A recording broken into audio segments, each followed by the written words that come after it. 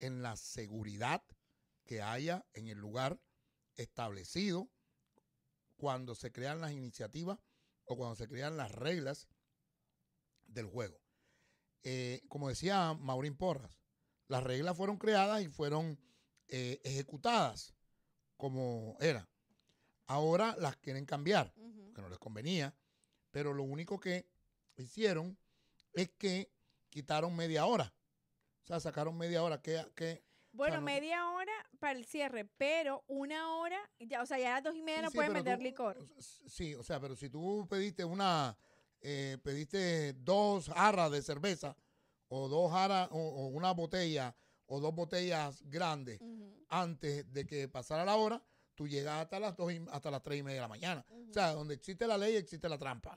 Eso no, el que, el que, el que va a tomar quiere tomar y el camarero que quiere ganar su propina va a buscar la forma de poder llegar hasta las tres y media de la mañana. Así es. Lo, lo, no estoy a favor de que existe, que no hayan tomado algún tipo de medida, pero que hubieran tomado una medida que realmente notara el cambio. Ahora, ¿qué es lo que sucede, Wendy? Que eso no va a beneficiar ni va a perjudicar en absoluto. Lo único que están haciendo es perjudicando el negocio. Y eso como Cristi Fraga, el señor eh, Piñeiro, el otro, la otra señora, la otra señora, la otra señora, no tienen un negocio que para poder abrir con estos riesgos tan grandes que tiene el manejar alcohol, el manejar todo este tipo de negocio, no se dan cuenta que uno, para poder tener un negocio de, esta, de este calibre, necesita pasar por una cantidad de regulaciones. Regulaciones como que, no son fáciles. que no son fáciles. Porque para que te den la licencia de alcohol, no es que tú llegas y la solicitas ahí y llega Marilyn y ahí mismo le dan la licencia. No, señor. Estos son unos procesos que hay que pasar. Los negocios tienen un proceso para poder ser confirmados, que ayer lo hablábamos con los carritos de food truck. O sea, un carrito de food truck, tú, tú compras un camioncito de eso, le pones una campana, le mete una cocinita por ahí por la parte de atrás y te vas al 87 a rentar un espacio de este parqueo y ya te pones a tirar hot dog o te tirar arepas eh, eh, malas o buenas o lo que sea, pero las tiras ahí.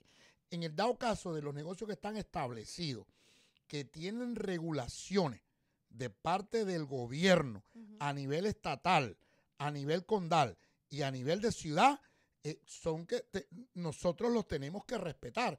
Que haya habido un incidente eh, eh, donde desgraciadamente se, una vida. pierde una vida una persona, esta persona creo que no tenía eh, pistola, o sea, no estaba armado. Entonces, tenemos que modificar la ley para que esta persona que esté vigilante sea un oficial, un policía, que, la, que, el, que el lugar pague un policía realmente para que esté cuidando. No que del, del, de nuestro dinero de contribuyente pagárselo al, lugar. No, no, no, no, no, no. Sino que el lugar pague a una persona garantizada que esté autorizada para poder eh, eh, eliminar a una persona que esté en un aspecto como lo que estaba esto. Este muchacho, joven, estudiante, no tenía por qué pasar esta tragedia si esta persona está autorizada, garantizada, eh, blindada con el armamento que debe tener para poder controlar a una persona que llega fuera del lugar. Entonces yo creo que no es parte del lugar. Está bien que pongan las, las reglas, pero cuando pongan las reglas del juego, acuérdense también que nosotros pagamos licencias, nosotros pagamos permisos, los dueños de negocio, nosotros pagamos todas las garantías para que pueda un negocio operar. Y una, yo te voy a decir una cosa, Wendy. Cuando un negocio de esta magnitud, es, cuando van a cerrar es cuando más vende. Cuando, cuando las personas, cuando ya van al, momento del cierre, es cuando, cuando las personas quieren tomar, quieren divertirse. Yo creo que estos, estos lugares, lo único que se debe de tener es un poquito más de protección, un poquito más de regulación de parte de la autoridad para decir, bueno, mira, ustedes tienen que poner a las 2 de la mañana, en vez de un policía, tienen que haber dos policías que puedan controlar las personas que están ahí. Porque si no, vamos a tener un problema.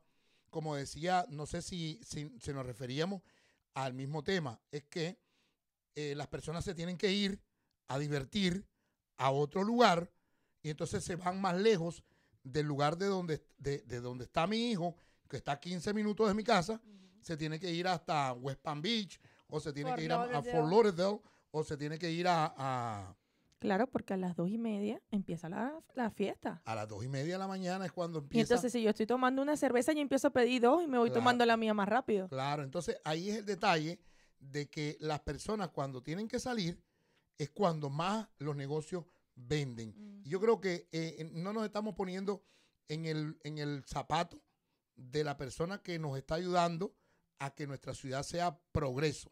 ¿Por qué? Porque le estamos poniendo unas restricciones que es lo que hace como comerciante uno. Me voy, mira, mira dónde están los carritos estos que eh, ahorita de los, de los food truck están en, en Medley. ¿Por qué están en Medley? Porque no hay control. Hay un descontrol, entonces ahí en Medley no hay control de carritos de food truck, entonces que van a meterse la cantidad. Entonces aquí en el Doral deberían de hacer que las restricciones no sean tan en contra de los que nosotros somos los contribuyentes. Yo te voy a decir algo, Wendy, y esto a fin de, de, de que no tiene nada que ver la emisora 1450 eh, AM 101.9 FM. Ojalá que no me saquen del aire en este momento. Pero te voy a decir algo. que los políticos, cuando van a pedir el voto de las personas, se ponen como pajaritos pidiendo comida. Y van a prometer a los lugares como Geneva Court, como Las Vistas 2, como todas las 79, van de negocio en negocio diciéndole que van a hacer muchísimas cosas, pero que le den su voto y que le den su voto y que se le den su voto. En las emisoras, cuando vienen los anuncios pagados son que el cambio, que para acá y que para allá, es pura falsedad. Porque cuando las personas se ubican en los lugares, en los puestos públicos, estas personas te ven como que si, si tú eres dueño de negocio, te, te ven como que si tú eres un enemigo de ellos, porque te aplican todo el peso de la ley. No te dan ninguna oportunidad para que tú puedas desarrollar tu negocio de manera correcta. Había una señora aquí al lado de donde está el, el- el McDonald's, en la 79 Avenida, que la señora tenía una cosa de ropa, eh, ponía ropa. Y la señora dijo un comentario que había llegado una candidata al Consejo de la Ciudad del Doral a decirle de que no se preocupara, que ella le iba a ayudar y que ella necesitaba 36 camisas eh, de, de screen, eh, ¿cómo se dice eso? Eh, de transfer Sí, camisa para hacer, para de- para, pintarlas. para, para pintarla y le dijo que le iba a ayudar y que esto y lo otro. Y esa señora como a los ocho meses, en un comentario que, que vino acá a la imprenta donde nosotros, nos dijo, esa mujer yo llegué ahí ah, porque no me estaban otorgando la licencia, el la, la licencia de, de renovarla. Dice, y, y le, la saludé y me dijo, ¿y quién tú eres? No me acuerdo de ti. Y le había regalado 36 camisas. Entonces tú dices, caballero, por favor Me estás utilizando. los están utilizando. Entonces, yo siento que de verdad que cuando son políticos deben de tener la dignidad de respetar a todos los negocios que estamos en el Doral o a todos los negocios que estamos en Jayalía o a todos los negocios. Yo tengo un negocio en Jayalía, Wendy, y yo quisiera decirte de que uno, conociendo a todas las, a los políticos, nosotros vamos por la vía correcta. Yo voy a hacer la fila de, la, de cuando voy a, a- a renovar la licencia. A mí me gusta ir en persona porque quiero ver, quiero eh, ¿cómo se dice? Eh, ver la cantidad de filas que tiene que hacer. Oye, yo voy a ir a Jayalía cuando voy a pagar la licencia y te metes unas colas y ahí no te volteas ni a ver ni, ¿cómo se llamaba aquella que, era conse- que iba a ser concejal que perdió con la... eh, oh, my God, no me acuerdo la... Eh. No, no, eh, no la, la en Hialeah, la que perdió en esta última con la... con ah, la sí. eh, oh Siempre God. se nos olvida el Mónica. nombre. No, no, no. Mónica Pacheco es la que ganó, Pacheco, pero la que compitió con Mónica Pacheco, eh, no me acuerdo cómo, cómo se llamaba esa, eh, pero, pero eh, mira, cómo se borran tanto porque no hacen nada por la comunidad. Y entonces cuando tú llegas ahí, eh, estás sentado y pasan por el frente. tú sabes que nos tienen que, a mí me tienen que conocer dentro de la parte de, creo que Sí, porque es que, es que llevo muchos años. Es más, en la cafetería la he visto, la miraba, la hemos entrevistado. ¿Cómo se hicimos, hicimos en, en una vez hicimos un evento en Medley. Estuvimos, eh, trabajaba en el, en el hipódromo. Ah, bueno, pero ella, ella, eh, Vivian Casales. Vivian Casales, ¿entiendes? no, Vivian Casales. Vivian Ca- Casales que perdió contra la, la persona esta que que, después fue nombrada por el eh, alcalde. que fue nombrada por el alcalde. Pasa con una, con, con una actitud frente a ti como que si, como que si ellos son unos monstruos y nosotros somos unos microbios. Y eso no funciona de esa manera. Entonces tú los ves así y cuando tú dices, bueno, lamentablemente no voto en Jayalía.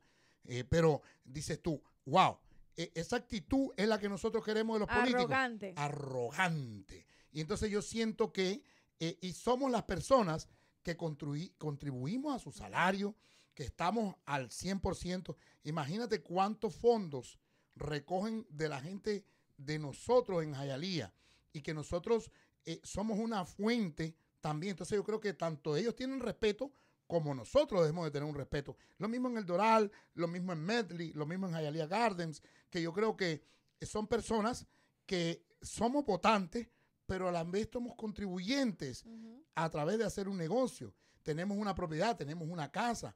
Entonces, estas personas nos deben de tratar con mucho respeto, no odiar a los negocios. ¿Cómo tú vas a creer que un negocio, por tener una pequeña debilidad, eh, de, de- de- y no es debilidad por culpa de ellas, es porque la autoridad tiene que ponerle las regulaciones correctas? Es decir, mira, ¿sabes una cosa, Giovanni Pereira?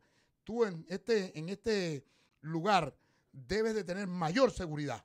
Y a partir de que esto que te pasó, vas a tener que tener desde las 2 de la mañana hasta las 4 de la mañana vas a tener que tener tres, tres policías.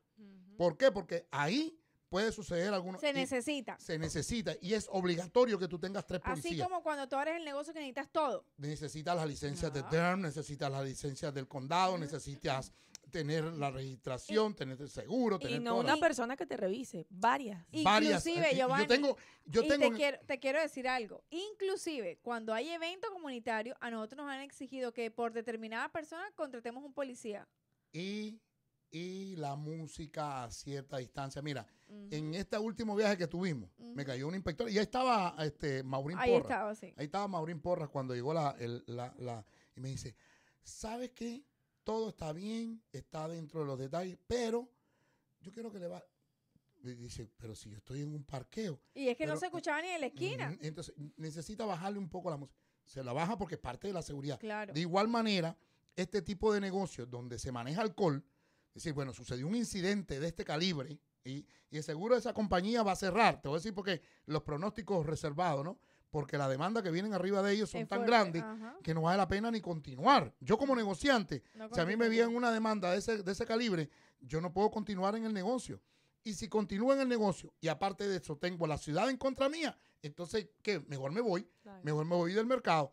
Lo correcto es que le pongan las garantías necesarias para que tú puedas cumplir. No es lo mismo que te manden a cerrar más temprano a que te digan, mira, pon a dos policías, pero con que, que tengan su chapeta, que puedan tener armas. Ujú. Porque un policía, una hora, ¿cuánto es que cuesta? 140. Cien- 100 dólares costaba Ciento y antes. pico de pesos que costaba, ¿no? Sí, Anteriormente. 100 dólares. Ponte que cueste 150, que, pen- que pongan dos, Lo que cueste. lo que cueste. Eso va a depender del dueño del negocio Claro. si los quiere poner. Correcto. Porque cuando yo pongo, por ejemplo, a mí DERM, me sube la licencia, me sube la inspección, el, el fire, el fire me, cuando me van a hacer la inspección de las campanas, me van a hacer inspección de, de los extinguidores, que eso es a nivel más grande, ¿no?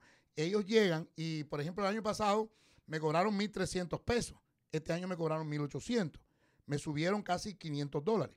Yo los 500 dólares cojo y los divido entre la cantidad de, de ventas que hay y eso se cobra. De igual manera, eh, si a las 2 de la mañana le mandan a poner tres policías a diario, ellos tienen que incrementar el valor del alcohol, subirlo para que la seguridad sea mayor. No de reventar los negocios y hacerlos cerrar, porque si no, ¿a dónde vamos a llegar? Definitivamente, eso es una realidad, Giovanni,